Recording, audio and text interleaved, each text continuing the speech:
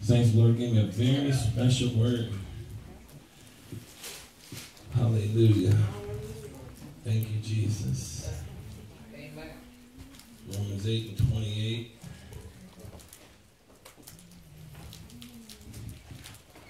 Says, and we know that this is a very familiar scripture. But saints, we're going somewhere with this that I never gone before. I never knew what I'm about to say to you before. Till the Lord revealed it to me the other day. I'm excited about this. And we know that all things work together for good to them that love God, to them that are the called according to his purpose. When he says we know that all things work together for the good,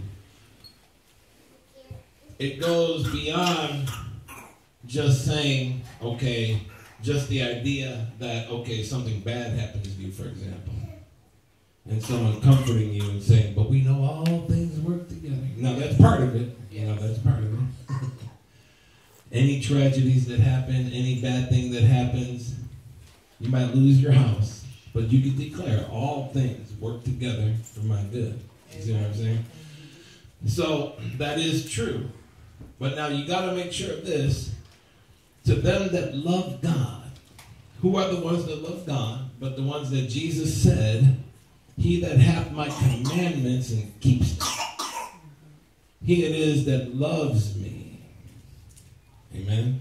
So if you have His word and you keep it, you guard it, you love it, you just hold on to it. It doesn't mean you're, you're 100% like toeing the line every minute. But it means the minute you recognize that you messed up in some way, you know, you're you're at the feet of Jesus saying, Lord, I'm sorry, forgive me, deliver me, I repent. You see? So people are gonna have some uh, sometimes um, stumbling blocks and things like that, but John said, I write these things unto you that you don't sin or that you sin not. He said, But if any man sin, we have an advocate with the Father, Jesus Christ the righteous. And he said, And if we confess our sins, he is faithful and just to forgive us of all our sin and to cleanse us from all unrighteousness. Amen. So the minute you realize, of course, that you messed up, you get right back on track. To them that love God, those that love God, God are the ones that keep the words of Jesus. They have his word and they keep his word. And it says, to them that are the called according to his purpose. Now, when he says, we know that all things work together for the good. That term, work together, in the Greek means to cooperate to cooperate. See, I pull it up right here. I just punch on that word. Those of you that know about the Strong's Bible app, you just punch on the word, and the Greek, you know, the original word comes up. It means to be a fellow worker. Everything becomes your fellow worker. What does? The moon, the sun, the United States Congress. You see what I'm saying? Everything it means to cooperate. Even demons have to cooperate with those that love God and those that are called, the called according to his purpose. See, but we're going to see what this really means in a few minutes. The kingdom of darkness has to cooperate with you, glory to God. Amen. They can't get in your way because all things are cooperating for your good. That means if the devil ain't got nothing good to bring, then he better keep on stepping. You see what I'm saying?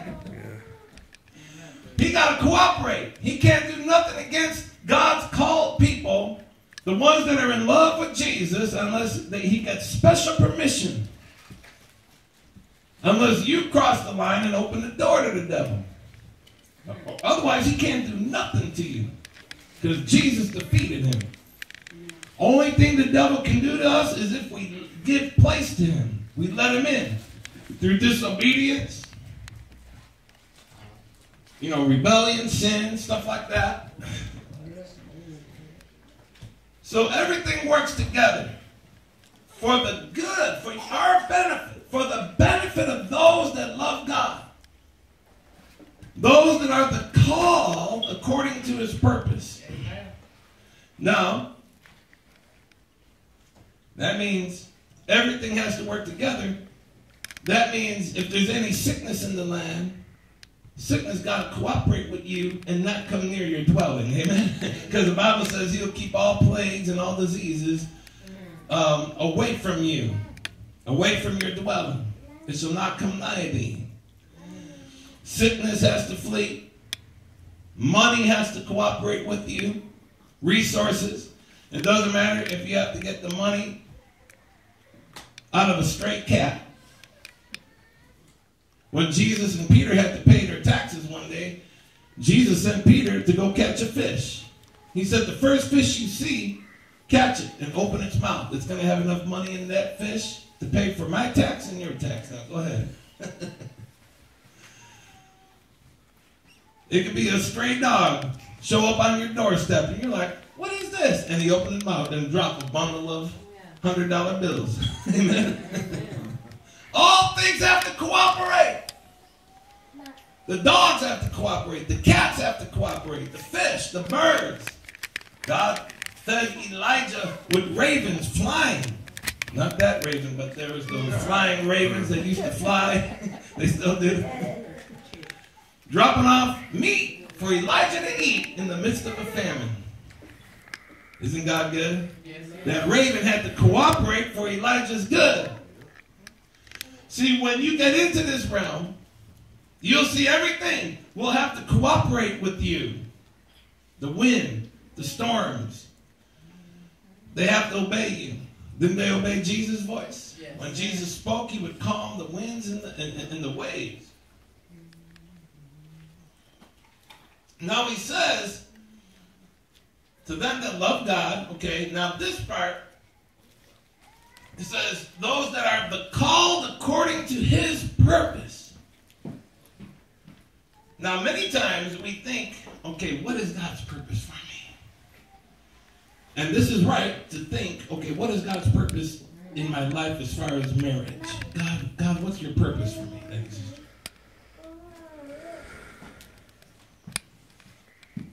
Should I get married now? Is the one I'm dating the one I'm supposed to marry? Is there someone else? Should I go on Christian Mingle and, and, and, and mingle on there, or should I not? You see what I'm saying? Those are all purposes you could be praying about. You might be praying about what is my purpose, Lord, for the ministry? What do you got for me to do? Am I called to be a teacher? Am I called to be a preacher? Am I called to be in, in helps? Am I called to be a prophet or an apostle? And as you pray, God makes known his calling. Now that's okay to pray about the purpose of God in that way. Or what job should I have, Lord? What do you want me to do as a career? Should I should I go and finish education and get a degree or not? Those are all noble things to pray about. But there's an ultimate purpose here. See, he says, look at this carefully, for them who are the called according to his purpose. This scripture is talking about his purpose, his plans for you. And there's an ultimate plan we're going to look into today. This goes beyond just saying, okay, you know, you get saved and born again, and now you say, okay, God, what's your purpose for my life? Should I do this or do that? I'm not willing that any should perish. It's God, and it says in God, it's God's will that all be saved and come to the knowledge of the truth. So God wants all to be saved. Turn that back on. God wants all to be saved and come to the knowledge of the truth. But this word predestinate, look what it means. It means to limit in advance or to predetermine, to determine before or to ordain or predestinate. Or, in other words, that God has ordained who he did foreknow, he ordained a destiny for her. He also did predestinate. So he also did have a vision. He foresaw a vision for those that loved him, those that responded to his calling, a certain destiny. And, and many people never catch a glimpse of this destiny. And it's sad that many people that God calls don't respond to his call. And some that have responded turn their backs on Jesus. And they'll never see the destiny. What destiny? We're not talking about just your destiny as because you might be thinking, my destiny is that I'm going to be a famous movie star and I'm going to transform Hollywood. Well, that's something you're you might do. But that's not this destiny that this word is talking about right here. There's a greater destiny than anything you could physically do on earth or be on earth. You know, someone might be thinking, my destiny is to be the greatest doctor in the state of Illinois and to, be, and to glorify God in that way. Well, that might be included in God's will for you. But that, that doesn't measure up to the destiny God has planned for you, ultimately.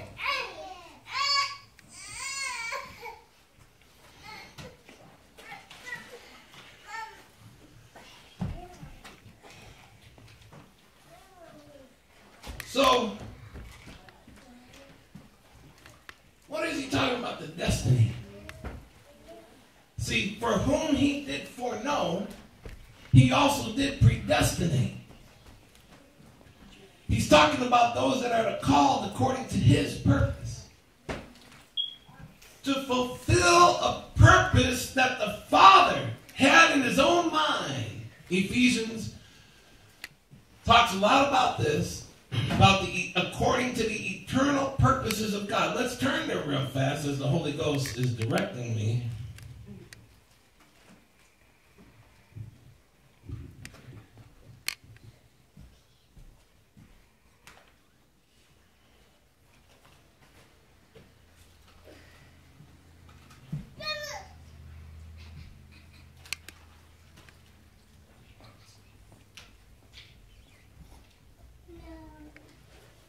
Ephesians 1.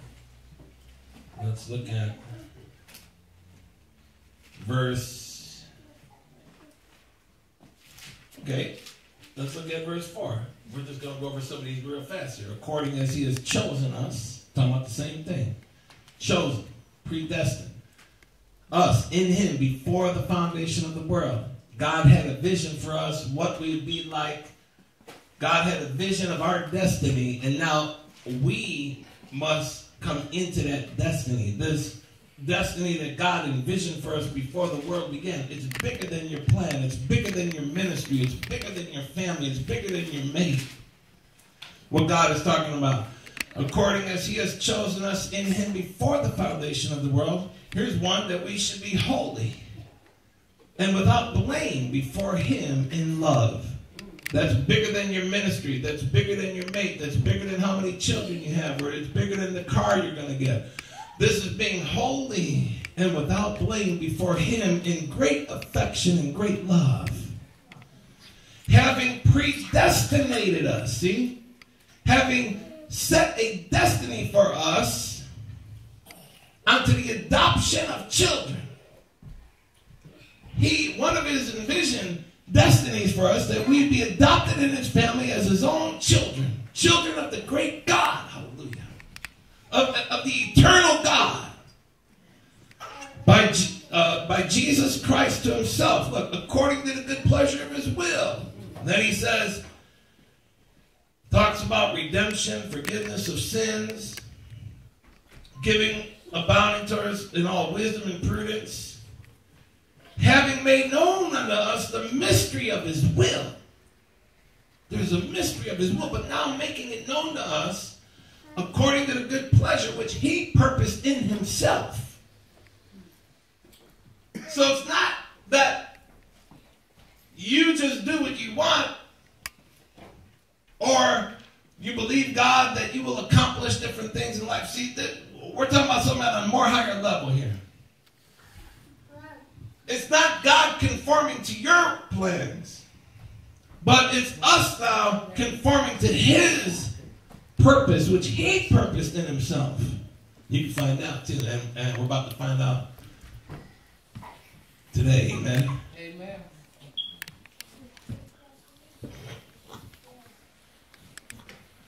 He says, he talks about some more things here.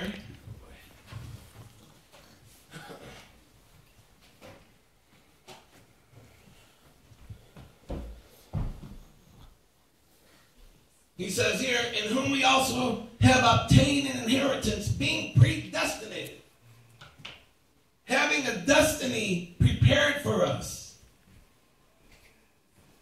according to the purpose of Him, see, who works all things after the counsel of His own will.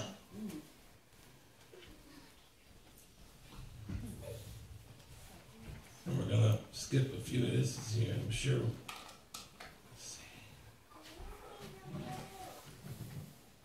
And there's other places here where he, he talks about according to the eternal purposes. I believe it's Ephesians 3.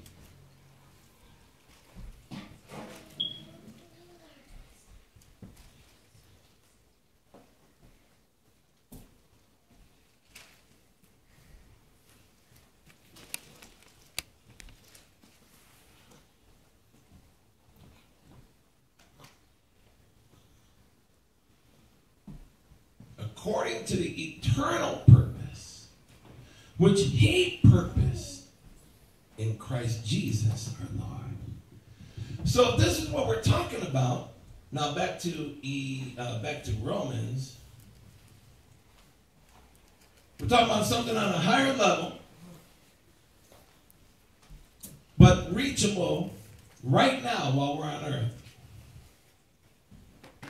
We're in Romans 8, and verse 29.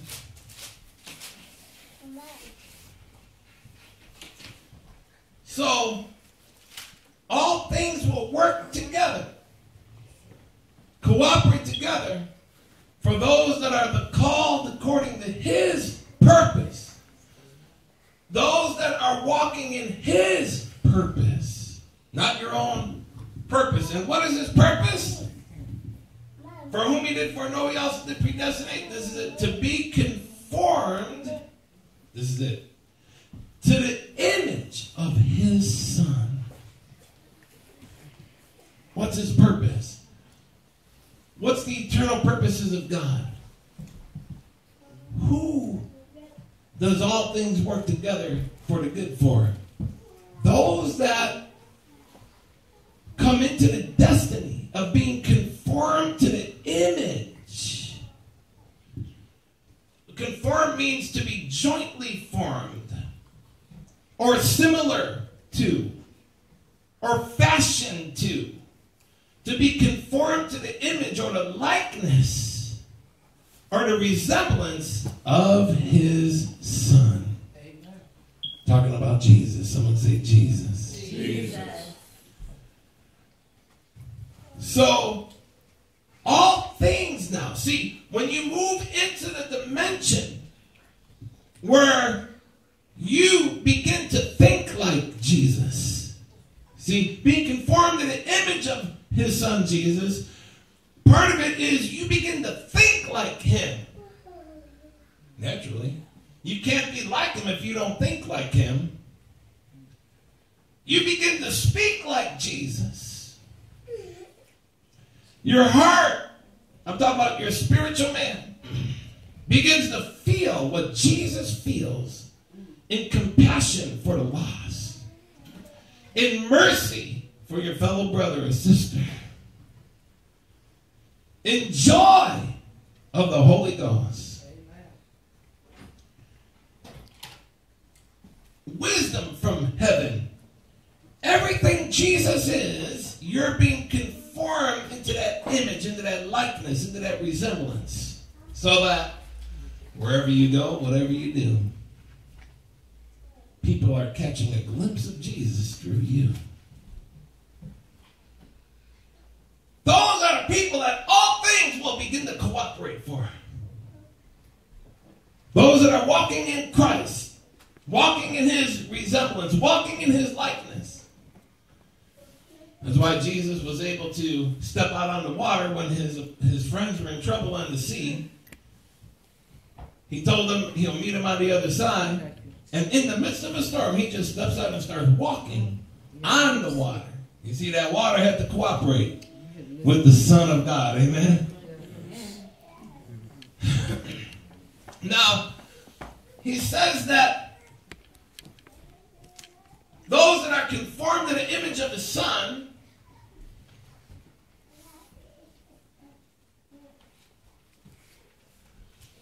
and it doesn't matter where you came from. It doesn't matter what you were before. This ain't a natural work. This is some. This isn't something you can't do. You're going to a self-help class or a self-help seminar. It's not nothing you can do on your own power. But we're talking about an operation that happens in your life through faith in the Word of God, through faith in Jesus Christ. And look what it says. You're conformed to the image of the Son that he might be the firstborn we're going to look at that today. Among many brethren. All of us having his resemblance, all of us having his likeness, he's the firstborn, and we all have a similarity. Two. Among many brethren. What does it mean that he's firstborn? Let's look at Colossians 1.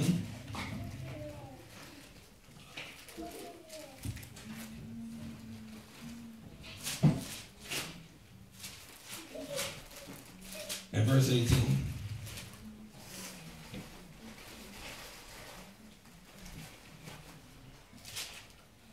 And he is the head of the body, the church, who is the beginning. And look at this the firstborn from the dead. The firstborn from the dead. What is he talking about? But he's talking about that Jesus might be the firstborn among many brethren. You're not really as his brethren in the sense until you get born again. You get reborn. Jesus was the firstborn from the dead. That means, and we, we touched on this many times over Christmas time and different things like that as we were talking Jesus came into the earth, born through the virgin, but the seed was from his father, but he became a man. And as a man, he lived, of course, by the power of the Holy Spirit. He limited himself and humbled himself to be fashioned after the manner of a man, the Bible says. He was a real man the first dream, I wasn't, I wasn't intending to say this, but the Lord put it in my mind. The first dream where I saw Jesus, in, along, this is like when I was in my 20s. I was standing in a yard, in like a, a grass yard, but there was a fence and a gate. I'm sure I shared this before. And I look over there. Now, I'm, I'm about this far from here to where you know, that wall is over there, and I'm looking at an angle, and I see Jesus standing at the gate with some other men in back of him. I don't know who they were. But when I saw him, I said, There's Jesus! And I ran to him. And that's when I leaped on him. I wrapped my arms and legs around him in this dream. And I remember when he looked at me, I'm looking up at him. I could see his hair, his beard, everything.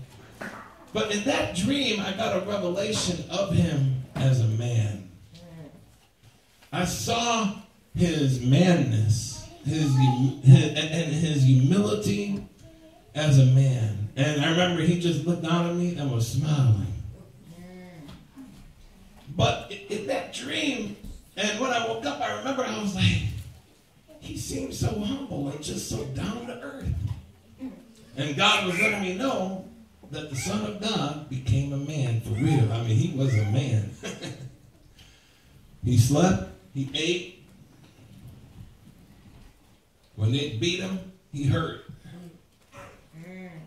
He, just like if he took one of us, you know, if they took one of us and put nails in our hands, he hurt the same way yes, as a man. Yes, yes. And as a man, when it says he was the firstborn from the dead, because as a man he lived on this earth. Of course, we know his ministry and what he did in the will of God. Then was nailed to the cross. And he began to experience death. He began to experience the separation from the Father. Because sin was put on his own body on that tree. He became sin for us. The Bible says he became sin who knew no sin.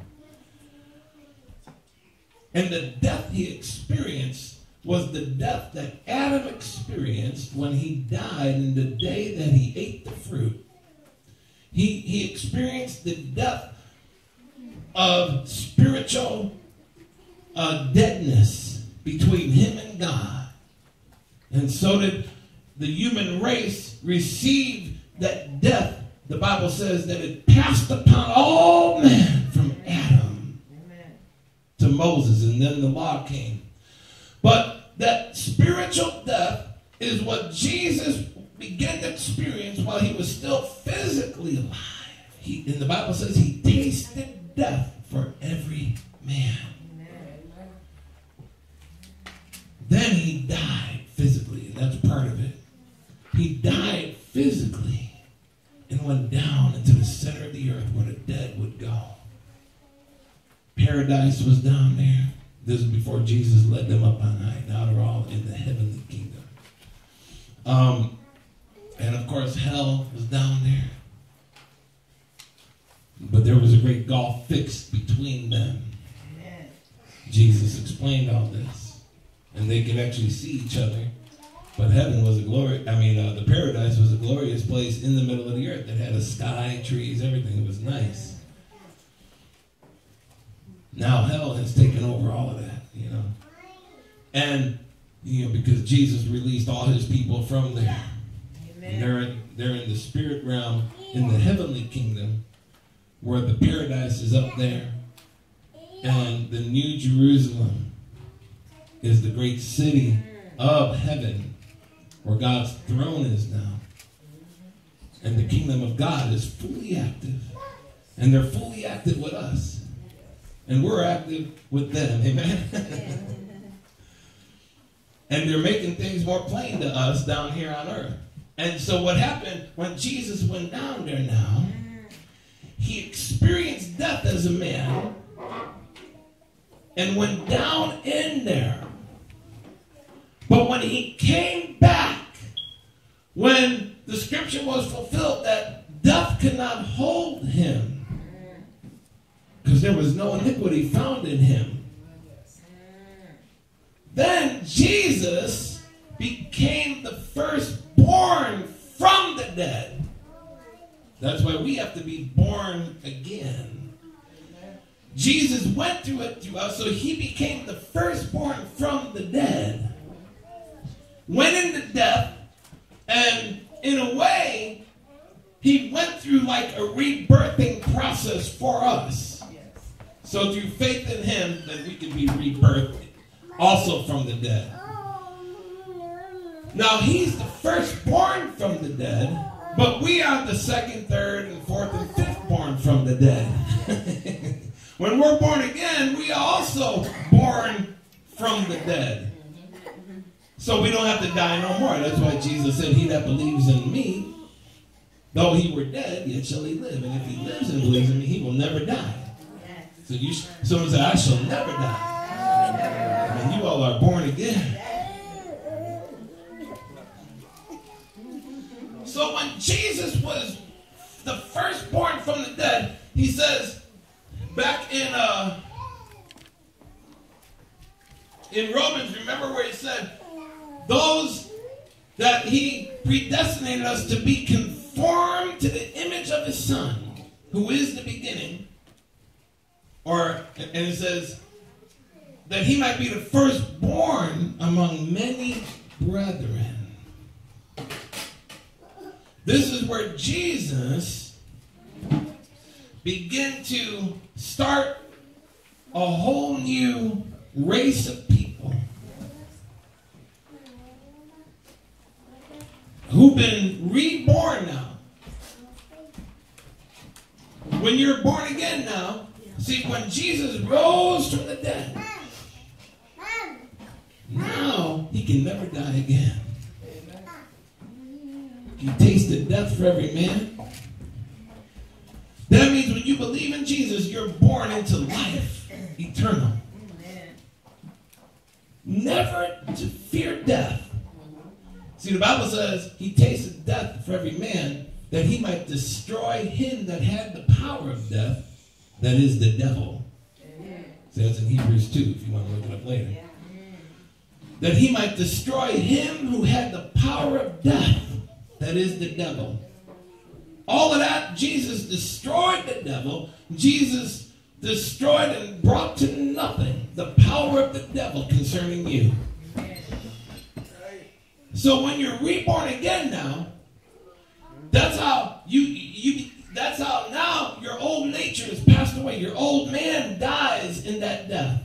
See, you become buried with him. What you were before dies, and you become buried with him into death. The old man is put to death with Christ on the cross. Then you when when Jesus rose from the dead, the Bible said, if you then be risen with Christ, now seek those things that are above, where Christ is seated at the right hand of God. Because you've been risen with him now. When when you're born again, you're born and you receive special eternal glory and, and, and the eternal nature of Jesus' Father. See, look at what it says here in Colossians 1 and 12. Giving thanks unto the Father, which has made us meet or fit to be partakers of the inheritance of the saints in light. Why in light? Because it says, who have delivered us from the power of darkness, from the authority of darkness. He delivered us from the jurisdiction that Satan had over us. We've been delivered from the power of darkness and translated now into the kingdom of his dear son. You've been translated out from the authority of darkness, and now you are you have been translated. It says, and have translated us hmm. into the kingdom of his dear son. So while we're on earth, we're in the kingdom. Remember, John, the apostle, said, I, John, who am also in the patience and in the kingdom of Jesus Christ, am writing unto you. That was in the book of Revelation, chapter 1. So we are in his kingdom, in his realm.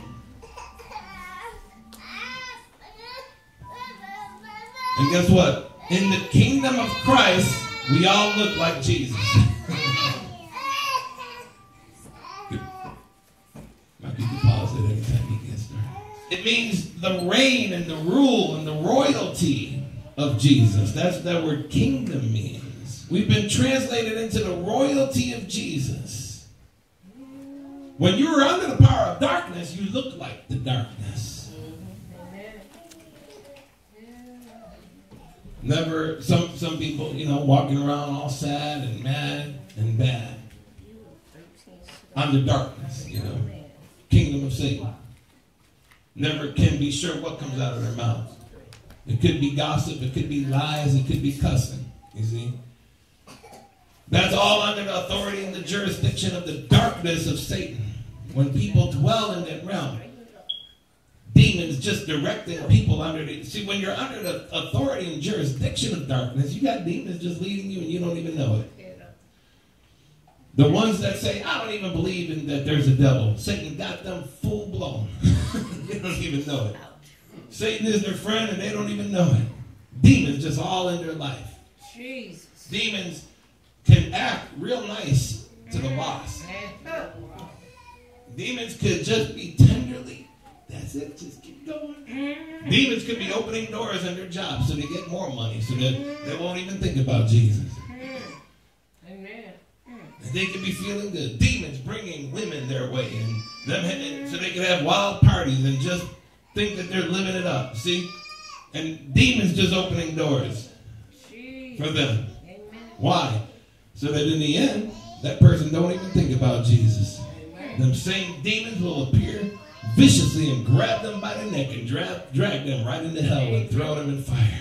Yes. Say that's what you get. But we've been we've been delivered from that authority of darkness. Hallelujah. Thank you.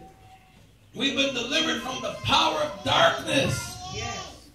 Translated now into the realm of Jesus' kingdom, into the kingdom of God's dear Son. Thank you, The reign, the reign of Christ is happening on earth in his people right now. We're taking the land. Step by step, we're moving forward. We're going to talk a little bit about that in a minute. See, that's why in verse 18 he says, And he is the head of the body, who is the beginning, the firstborn from the dead. And back to Romans now.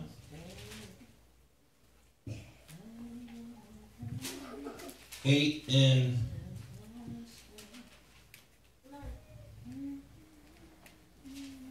twenty-nine. He predestinated to be conformed to the image of his son, that he might be the firstborn among many brethren.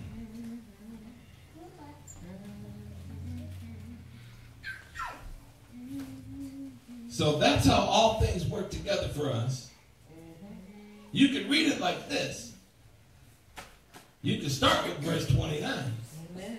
and say, those that he thought of, those that in the beginning, you could read like this in verse 29. God planned that people, way in the beginning, mm. before they even came to the earth, he planned a destiny that they would all be like his son, Jesus. After Jesus went into death and came back alive and now glorified. See, Jesus went through a whole process. When he went into death and he was raised from the dead, he was on the earth still for a little while. And he was going to go be glorified. And so now he's in the glorified state. So those that he he made a destiny for them to be conformed to the image of his son. And that God would call them according accordingly for that purpose. And that all things would work together for them. See, the Bible says that even the creation waiteth and groaneth for the manifestation of the sons of God. This is what it's talking about when he says that.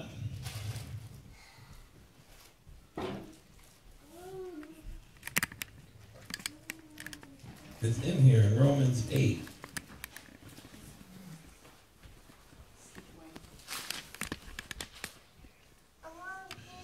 See, look what it says in Romans 8 and verse 20, 21. He says, Because the creation itself. Wait. Glory to God. We're touching some deeper stuff here. Look at verse 19. For the earnest expectation of the creature or the creation waits for the manifestation of the sons of God. That's those that are being reborn and being conformed to the image of the son, that he might be the firstborn among many brethren. If you're Jesus' brethren, you're also the sons of God. And the creation itself is groaning. The oceans are groaning, the animals are groaning, the skies and the, the ozone layer is groaning for the manifestation of the sons of God, so that we would be manifest in the earth. So that we would do the things that Jesus said. Jesus said, He that believes on me, the works that I do shall he do also, and greater works than these shall he do, because I'm going to my Father. But the sons of God are going to be here manifested doing greater things than what Jesus would do because we're all his brothers. He says, For the creation was made subject to vanity, but the creation itself shall be delivered from the bondage of corruption into the glorious liberty of the children of God. We were delivered from the bondage of corruption already into the glorious liberty of being God's children. This is an actual transformation. It's a transference of who you are and what you were into what God's destiny is for you. And his destiny is that you be conformed and be fashioned to the image of Jesus. You are to look like Jesus. When you begin to step into that realm, then this is this scripture applies to you more than ever before. Now you receive that inheritance by faith. It's given to you by faith. But you want to see it in reality. You want the manifestation to appear.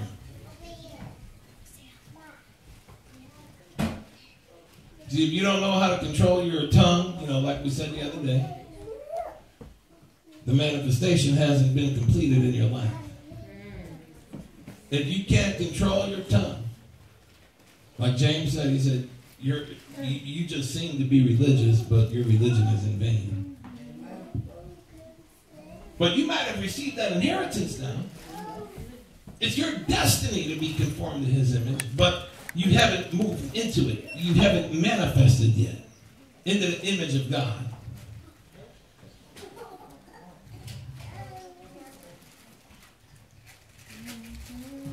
All right.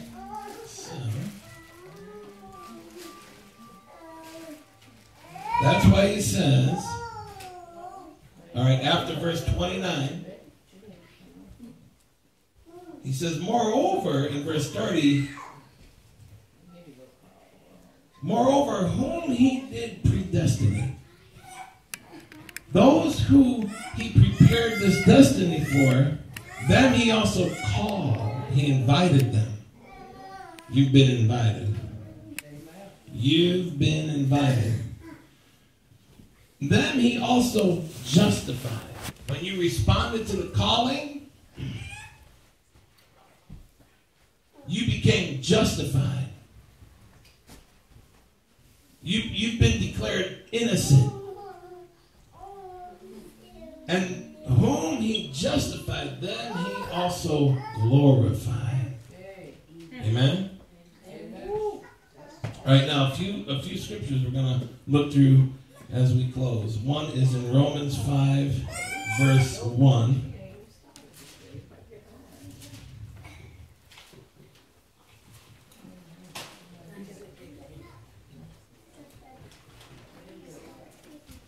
And there, this is why it says, therefore, being justified by faith, being declared innocent, rendered innocent by faith, we have peace with God through our Lord Jesus Christ. But look at this, by whom also we have access by faith into this grace wherein we stand.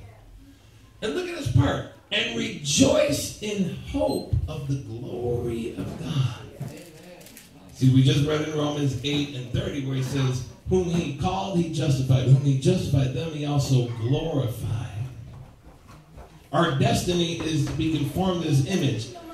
Now, and not just his image on the earth, but our divine destiny is so that we will one day be glowing in that glory that Jesus has. That's our destiny. That's what I saw when I actually was